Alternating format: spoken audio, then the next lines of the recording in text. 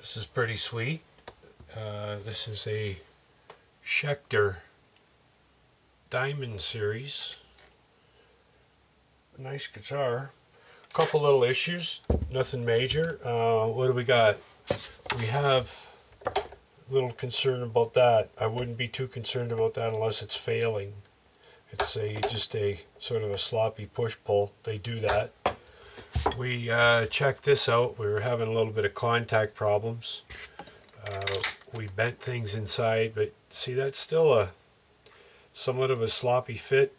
I'm thinking a brand new Switchcraft replacement in there might not be a bad idea. Uh, what else? Polished up the frets. There is some uh, minor fret wear. Nothing to worry about right now, but we want to keep an eye on that. And we're going to swap the string gauge for some, what are these, not even slinkies.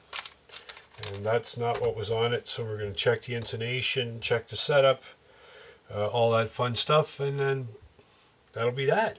Cool, huh? This has got those lovely locking tuners, which makes restringing so easy. I love locking tuners. I really do. Strings are on. Sometimes people ask why I never cut those off. I do cut them off, but not to the very, very end. Because if you have to take the strings off, or a string off, for any reason during this process, uh, and you've cut the string off to length already, you're gooched. Uh, that's why I leave them uncut to the very end.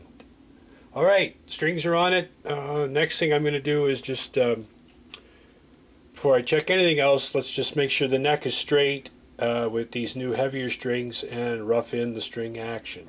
Definitely want to give this guy another plug. I, am uh, totally satisfied with these for the price. Neck check guitars. Um, I never ever used notch straight edges before because they were always just way too much money.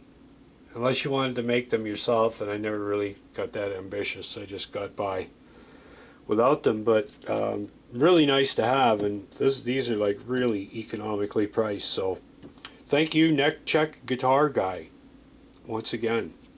Okay, the neck is straight, and this is uh, guitar is a 25 and a half inch scale guitar like a Fender guitar. So those are the specs I'm going to use to set it up with. And uh, now the neck is straight, I'll uh, sort of rough in the intonation, which shouldn't be far off. Then we'll set a string height, then we'll set relief, then we'll check the intonation again, then we'll check the string height, then we'll check the relief, then we'll check the intonation again. Uh, sort of like that. But like I said, first thing I'm going to do, rough in the intonation. And we all know about that, this distance to that distance. Okay, hold on.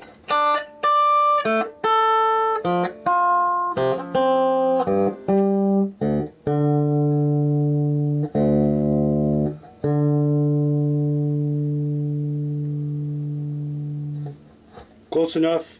We'll check that again, again, and again, and again in the playing position. Uh, next, string height we want to see four 64s at the 17th fret. So let's make that happen. A cool thing to point out on this guitar is it has the locking screws. So once you've set the uh, string height, those are those little set screws on the post that let you lock it in place. I love that.